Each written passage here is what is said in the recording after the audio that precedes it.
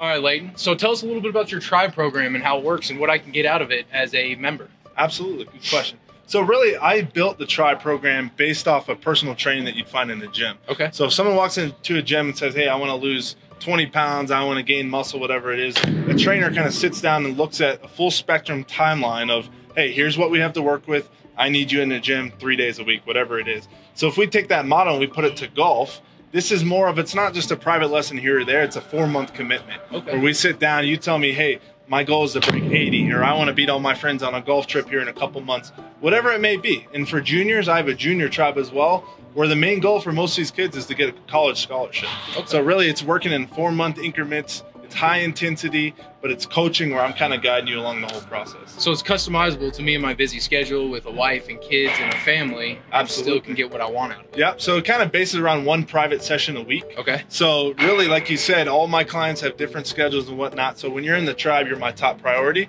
and I take care of you either way. Okay. So Leighton, that's awesome. It's really, really exciting. How would I go about starting this process with you? Yeah, absolutely. So one option is visit my website. Okay. Right there, I have my contact information as well. We can put it in this video too. Awesome. But really, it sits down with a free consult in the beginning. So we can sit down over a cup of coffee, over a few range balls, whatever it may be, and we're gonna lay out your goals right there. Because then I can kind of get a feel for how much time you have. Like if you're in the busiest part of your life and you can only commit to one hour a week, I'll build build something for you.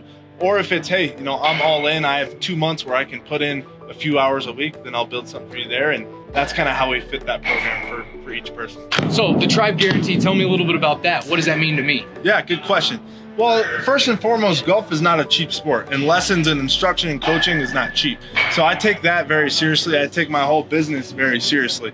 And what the tribe guarantee is, in the beginning, when we lay out your goals and your commitments, because really what this is is it's a relationship where I need you to commit, right? I kind of lay things out, and you need me, right? So Right. I'm gonna lay that out. So in that tribe guarantee, it's different for each person, but it's saying, hey, if we accomplish this, this, this, and this, if you're not satisfied, then I'm gonna make it right. Whether that's continuing a coaching until you do meet your goal or whatever it is. But the main thing is I'm gonna make you happy, I'm gonna make you better. Awesome. Sounds like something I can use on the course and outside of the course as well. Yep, that's what it's for. Awesome. Thanks, Sean.